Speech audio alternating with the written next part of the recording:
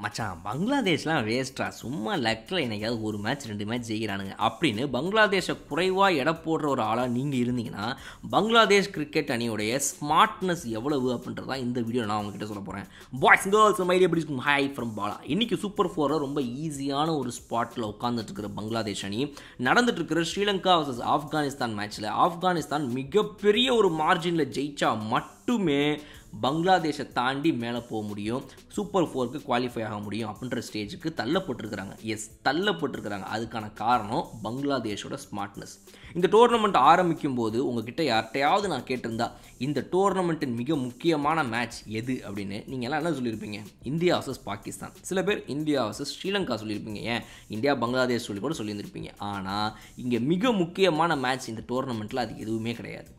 Bangladesh versus Afghanistan. இதுதான் ஆக்சுவலாக ரொம்ப இம்பார்ட்டண்ட்டான மேட்ச் சூப்பர் ஃபோரை பொறுத்த வரைக்கும் உள்ளே போகக்கூடிய அணிகளில் இந்தியா பாகிஸ்தான் எப்படியாவது நேபாள அடித்து உள்ளே போயிடுவாங்கன்றது நம்ம எல்லாருக்கும் தெரிஞ்சதாக இருந்துச்சு. ஆனால் இந்த குரூப்பை எடுத்து பார்த்தீங்கன்னா ஸ்ரீலங்கா பங்களாதேஷ் ஆப்கானிஸ்தான் மூன்று அணிகள் இருக்கிறாங்க.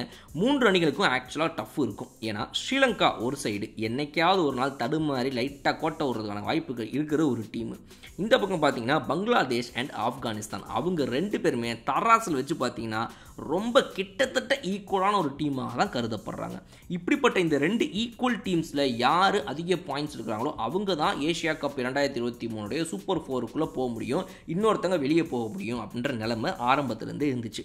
ஸோ இவங்க ரெண்டு பேருக்கும் தெரியும். இவங்க ரெண்டு பேரும் மோதக்கூடிய அந்த மேட்ச் தான் ரொம்ப முக்கியமான மேட்ச்சுங்கிறது இங்கே தான் நான் வீடியோட ஆரம்பத்தில் சொன்னேன். பங்களாதேஷோடைய அந்த ஸ்மார்ட்னஸ்ன்ற மேட்ரு உள்ளே வருது.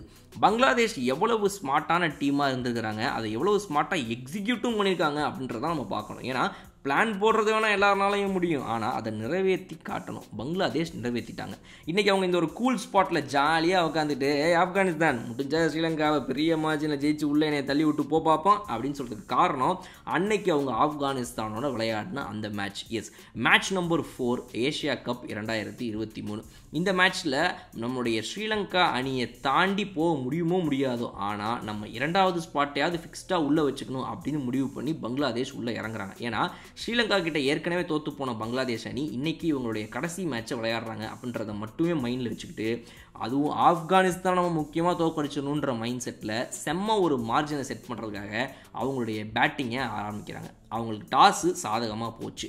டாஸை ஜெயித்தவங்க பேட்டிங்கை சூஸ் பண்ணுறாங்க ஒரு மிகப்பெரிய டார்கெட்டை செட் பண்ணி கொடுக்குறாங்க. முந்நூற்றி முப்பத்தி நாலுக்கு அஞ்சு விக்கெட் தான் அவங்க இழந்தாங்க. முந்நூற்றி முப்பத்தஞ்சு அடிச்சுட்டு நீ வேணா ஏஷியா கப்போட ரவுண்டு ஃபோருக்கு போய் ரவுண்டு டூக்கு போய்க்கும் சூப்பர் ஃபோருக்கு அப்படின்னு ஆப்கானிஸ்தானுக்கு மறைமுகமான ஒரு சவாலை அவங்க கொடுக்குறாங்க.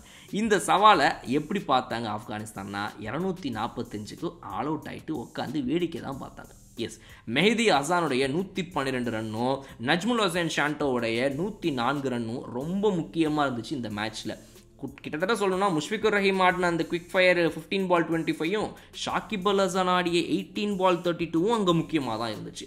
ஸோ இந்த டீம் ஒரு பெரிய மார்ஜினை இங்கே ஸ்ரீல ஆப்கானிஸ்தான்கிட்ட கொடுத்து ஆப்கானிஸ்தானை கண்டிப்பாக தோக்கடிச்சிட்டா நம்ம இன்னைக்கு ஒழுங்காக போய் அமைதியாக உட்காந்துக்கலாம் சூப்பர் ஃபோர்லங்கிற ஒரு தாட்டோட உள்ளே இறங்கி இருந்திருக்காங்க. ஸோ அப்படிப்பட்ட அந்த ஸ்மார்ட் கிரிக்கெட்டை அவங்க எப்படி ஆடினாங்க பாருங்கள் முந்நூற்றி முப்பத்தி நாலு அடித்தது மட்டும் இல்லாமல் பங்களாதேஷ் ஆப்கானிஸ்தானை இரநூற்றி தான் all அவுட்டும் ஆக்கிடுறாங்க.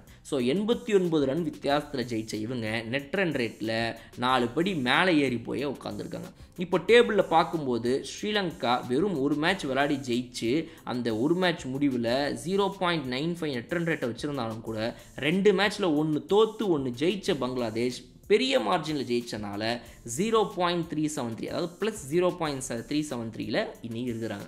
So Afghanistan minus one point செவனில் இருக்கிறாங்க அந்த மேட்ச் தோற்றதுக்கப்புறமா இப்போ அவங்களுடைய மிகப்பெரிய டார்கெட் என்னென்னா ஸ்ரீலங்காவை பெரிய மார்ஜினில் தோக்கடிச்சாதான் மிகப்பெரிய மார்ஜினில் தோக்கடிச்சாதான் பங்களாதேஷை தாண்டி போய் உட்காந்து இவங்க இன்றைக்கி சூப்பர் ஃபோருக்குள்ளே போக முடியும். ஸோ இந்த சுச்சுவேஷனை ஏற்படுத்தி கொடுத்தது பங்களாதேஷுடைய ஸ்மார்ட்னஸ் ஸோ அந்த நான்காவது டீம் யார்? சூப்பர் ஃபோரில் போகிற நாலாவது டீம் பங்களாதேஷ்? ஆப்கானிஸ்தான் அந்த கேள்விக்கு பதிலையும் சவாலையும் கொடுத்தாச்சு.